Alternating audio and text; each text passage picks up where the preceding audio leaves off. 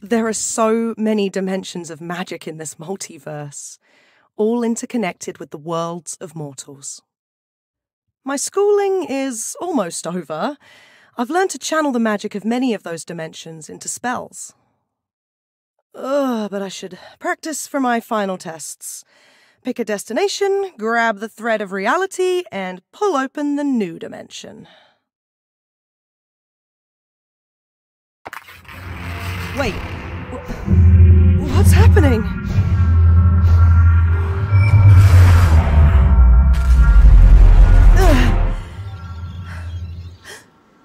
What? Where am I? What happened?